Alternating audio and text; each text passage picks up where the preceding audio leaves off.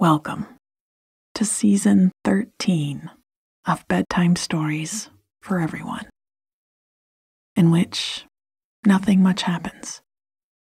You feel good, and then you fall asleep. I'm Kathryn Nicolai. I read and write all the stories you hear on Nothing Much Happens. Audio engineering is by Bob Wittersheim. Wow, 13 seasons, over 200 episodes, one fantastic book, if I do say so myself, and now three weekly shows, all from a little idea I had in the middle of the night. Thank you for listening and for sharing what we do. It helps us grow and provide more comfort and enjoyment to others. Our newest show is called Stories from the Village of Nothing Much, and it's a daytime version of our bedtime stories. It joins First This, our 10 minute meditation show, in giving you lots of ways, morning to night, to feel good and feel connected to what is good in the world. They're all available for free wherever you listen or you can subscribe for ad free and bonus early release episodes through the link in our show notes or by searching NMH Premium Plus on Apple Podcasts. Our charity this week is Guide Dogs for the Blind. Everyone deserves to move through the world safely and confidently, and they are helping. Find a link to them in our show notes. Now, I have a story to tell you. It's a soft place to rest your mind, and just by listening, you'll be training your brain to settle and to sleep. I'll tell the story twice, a little slower the second time through. If you wake again in the night, you can turn a story right back on, or sometimes it's enough just to think through any part of it that you can remember.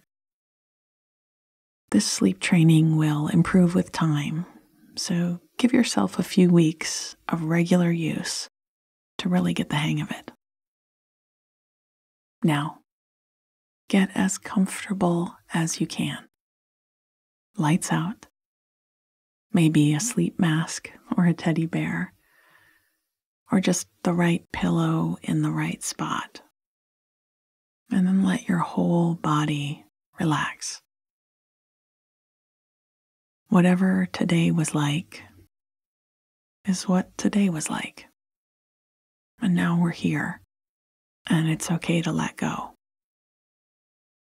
Take a slow, deep breath in through your nose and sigh from your mouth.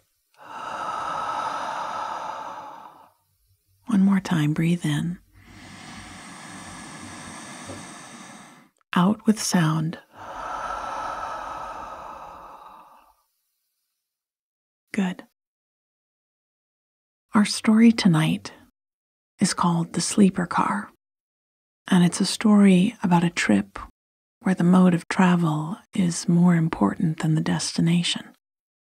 It's also about crisp, ironed linens, a little notebook that fits perfectly into your pocket, the mystery of strangers across the dining car, and waking up to a snowy sunrise.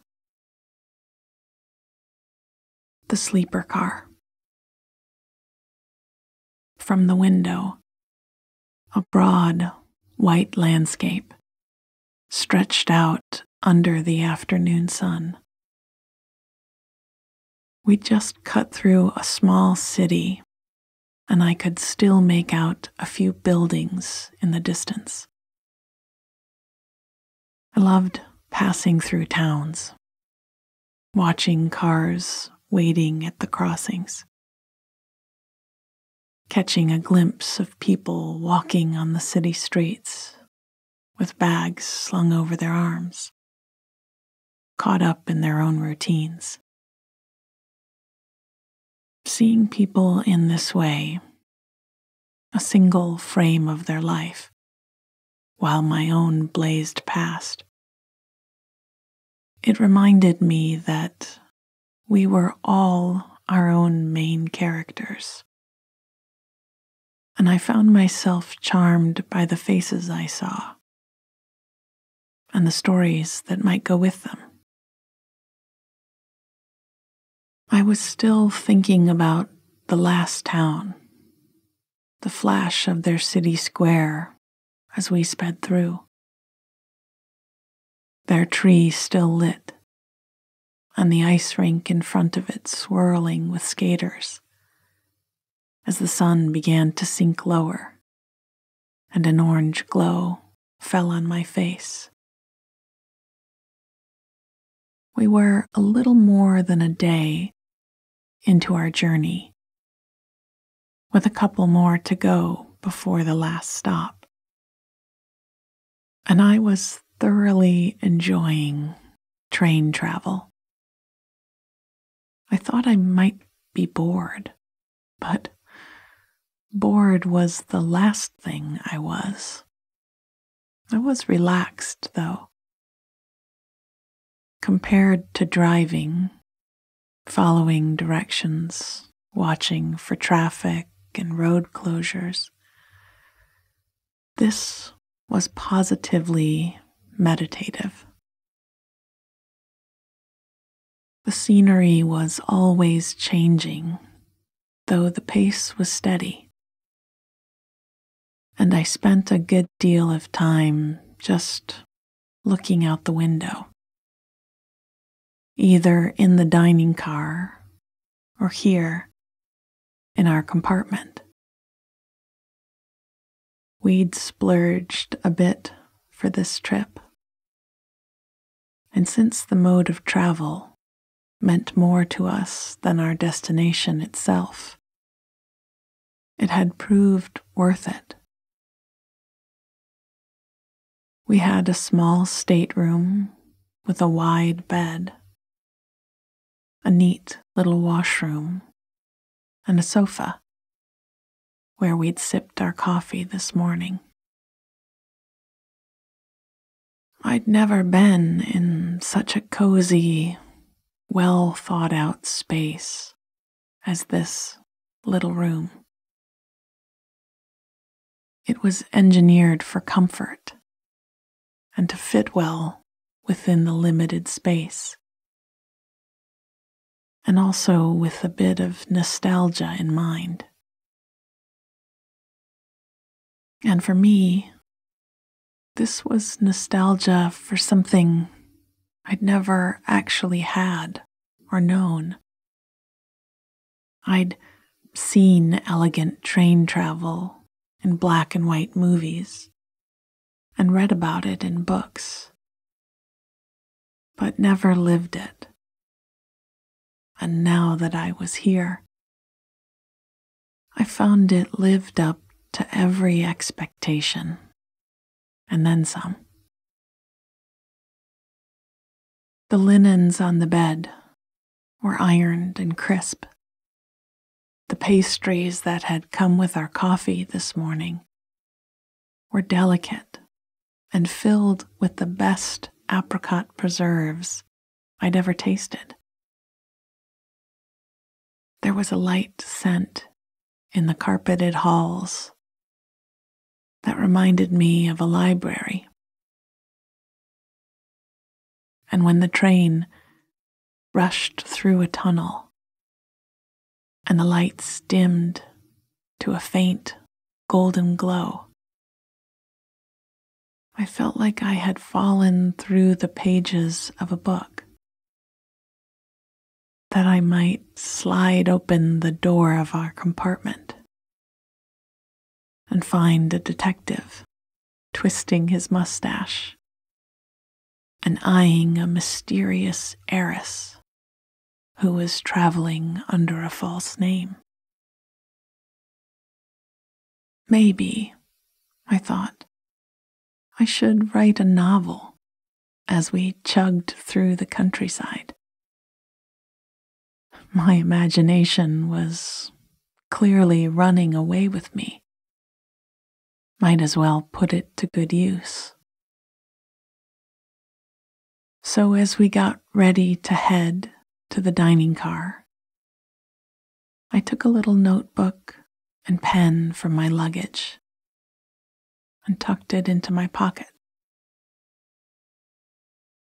The walk from the sleeper car down to the dining car passed through a few others.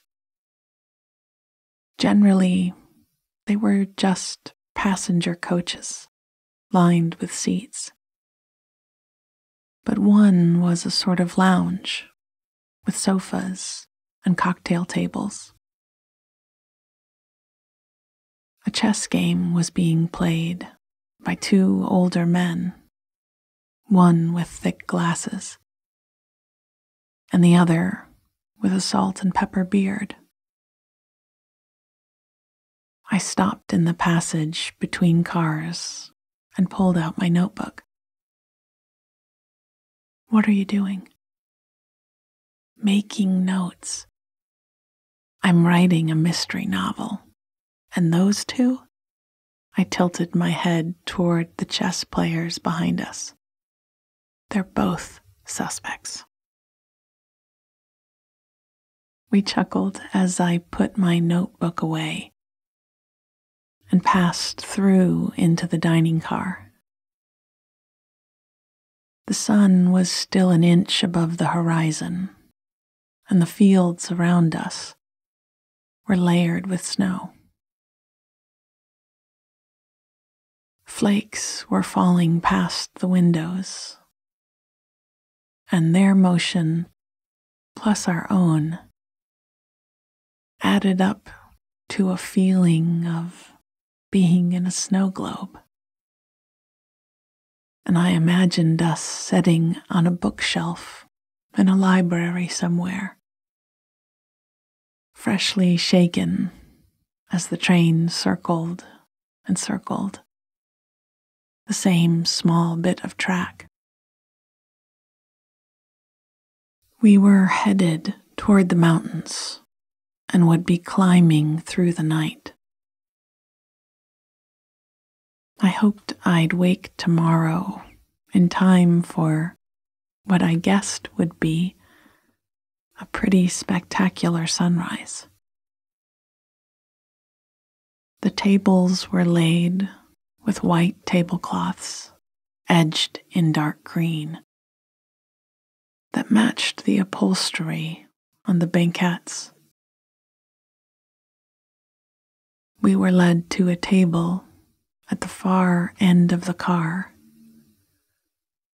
where we could see all of our fellow passengers. Perfect for my research. And when we sat, I tucked my notebook under the edge of my plate for easy reach. We ordered fancy drinks that bubbled in old fashioned glasses. While we sipped, we made up stories about the other diners. There was a mother and daughter at a table across from us, and they seemed pensive as they spooned up their soup. Quiet, unassuming. Nothing to see there? I asked over my glass. Hmm, that's what they want you to think. Probably planning a heist of the jewels in the train safe. I wrote heist, jewels, safe in my notebook. The snow kept falling as we dined. Asparagus soup, arancini with a tangy sauce, roasted portobello and farro, and a thin slice of very rich chocolate tart. At times we forgot to imagine storylines and just got lost staring out at the mountains. A faint halo of moon behind the clouds, and our hands lazily touching across the table. The rocking of the train was making me drowsy. And finally, we rose and thanked our waiter and strolled back to the sleeper car. Our bed had been turned down and the sconces dimmed. I stood by the window and watched the scenery race by, thinking about how sweet it would be to pull on my pajamas and climb up into the big, soft bed, to turn out the lights and feel the sway of the train, to hear the bells tolling at the crossings in my sleep. I set my notebook beside the bed, thinking that I might dream up a whole new story overnight and wake to find myself in a new world. The sleeper car. From the window, a broad white landscape stretched out under the afternoon sun. We'd just cut through a small city, and I could still make out a few tall buildings in the distance. I loved passing through towns watching cars waiting at the crossings, catching a glimpse of people walking on the city streets with bags slung over their arms, caught up in their own routines. Seeing people in this way, a single frame of their life while my own blazed past. It reminded me that we were all our own main characters. And I found myself charmed by the faces I saw and the stories that might go with them. I was still thinking about the last town, the flash of their city square as we sped through.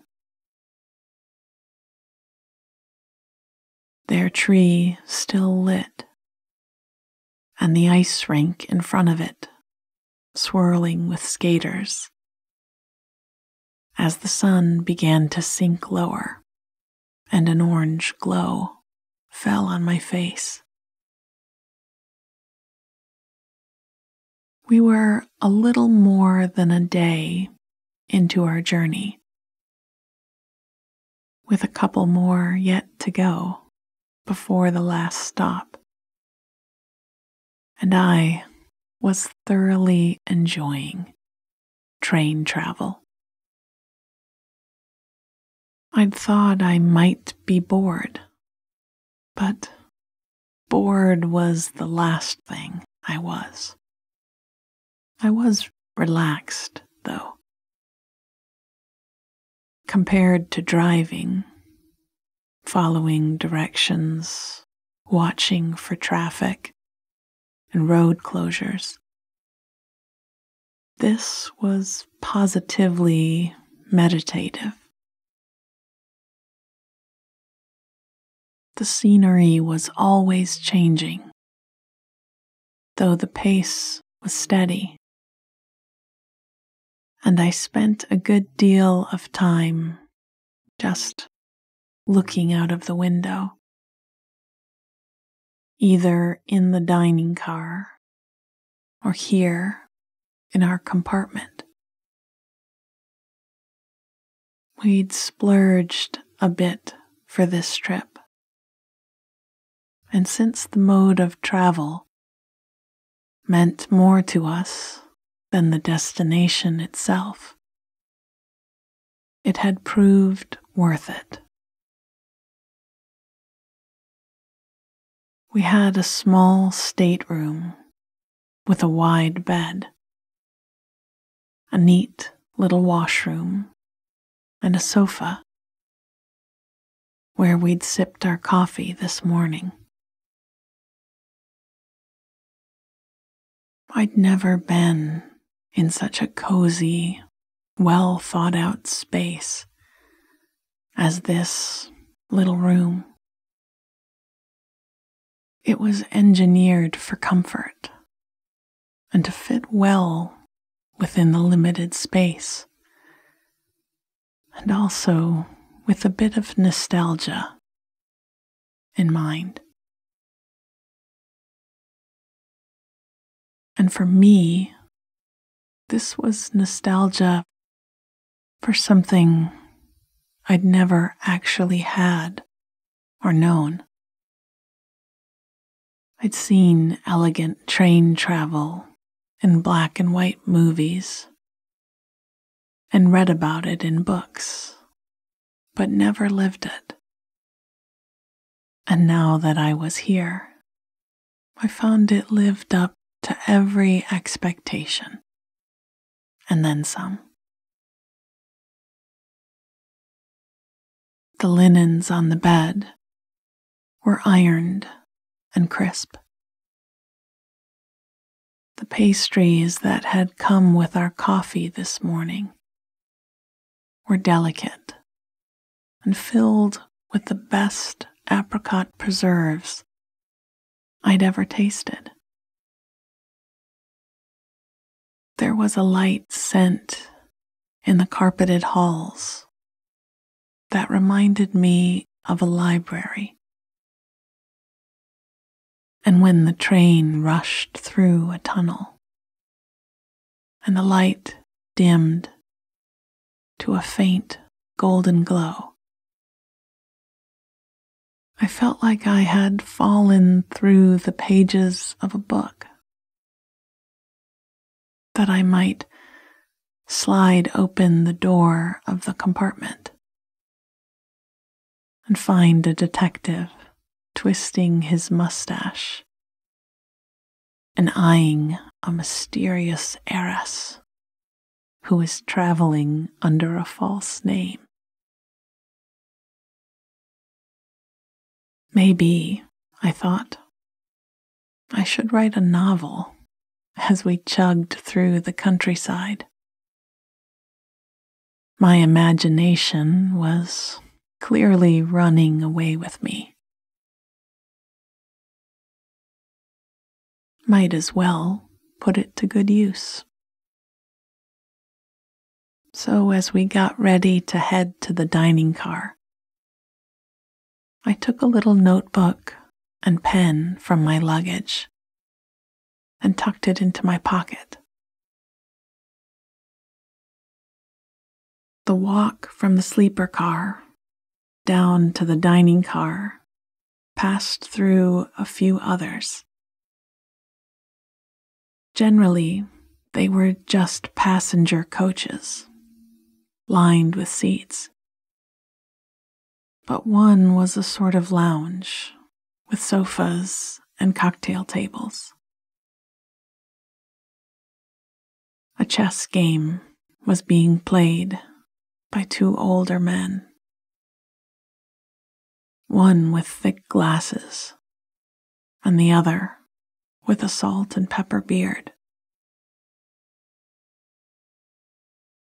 I stopped in the passage between cars and pulled out my notebook. What are you doing? Making notes. I'm writing a mystery novel. And those two, I tilted my head toward the chess players behind us. They're both suspects. We chuckled as I put my notebook away and passed through into the dining car. The sun was still an inch above the horizon, and the fields around us were layered with snow. Flakes were falling past the windows, and their motion plus our own added up to a feeling of being inside a snow globe. I imagined us sitting on a bookshelf in a library somewhere, freshly shaken as the train circled and circled the same small bit of track. We were headed toward the mountains and would be climbing through the night. I hoped I'd wake tomorrow in time for what I guessed would be a pretty spectacular sunrise. The tables were laid with white tablecloths, edged in dark green, that matched the upholstery on the banquettes. We were led to a table at the far end of the car where we could see all of our fellow passengers perfect for my research. And when we sat, I tucked my notebook under the edge of my plate for easy reach. We ordered fancy drinks that bubbled in old fashioned glasses. While we sipped, we made up stories about the other diners. There was a mother and daughter at a table across from us, and they seemed pensive as they spooned up their soup. Quiet, unassuming, nothing to see there? I asked over my glass. That's what they want you to think. Probably planning a heist of the jewels in the train safe. I wrote heist, jewels, safe in the notebook. The snow kept falling as we dined. Asparagus soup, arancini with a tangy sauce, roasted portobello and farro, and a thin slice of very rich chocolate tart. At times, we forgot to imagine storylines and just got lost staring out at the mountains. A faint halo of moon behind the clouds, and our hands lazily touching across the table. The rocking of the train was making me drowsy.